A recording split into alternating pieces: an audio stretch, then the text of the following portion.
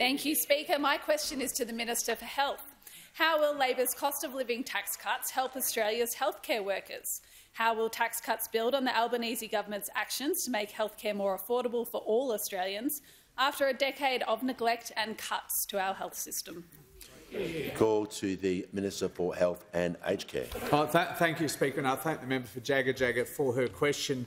Uh, she knows that 77,000 taxpayers in her electorate uh, will benefit from legislation we've put before the parliament right now, debated again this afternoon, this evening, which will mean every single one of those taxpayers gets a tax cut on the 1st of July. Not some of them, as was the case under the old plan of five years ago, but every single one of them. And, Mr Speaker, many of those Order. work in healthcare, including at the terrific Austin Hospital uh, in Heidelberg in the member's electorate. A second-year nurse working at the Austin on $75,000 will receive, under Labor's plan, a tax cut of $1,554 a year, around double what they would have received under the old plan. A hospital orderly working at the Austin on 47,000 will receive a tax cut of $862 a year compared to just $58 under the old plan. About $1 a week was what they were getting under the old plan from five years ago. This is all part of this government's commitment to ensure that Middle Australia earns more and keeps more of what they earn.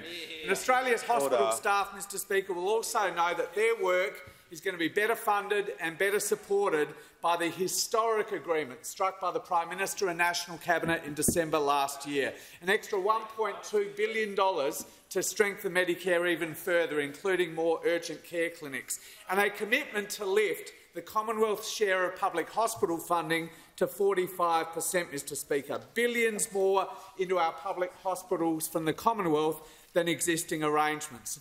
Those hospital staff at the Austin and hospitals right around the country, Mr Speaker, know what a struggle it has been to get that level of support. Every day at work, they see coming through their front door the consequences of 10 years of cuts and neglect to Medicare, cuts and neglect Gippsland that were initiated by the Leader of the Opposition when he was the Health Minister.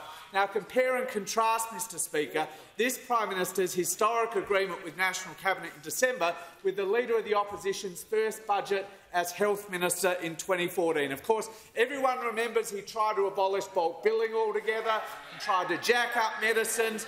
They might not remember he also tried to cut $50 billion from hospitals. $50 billion in a the blue, minister will, minister will budget. Pause.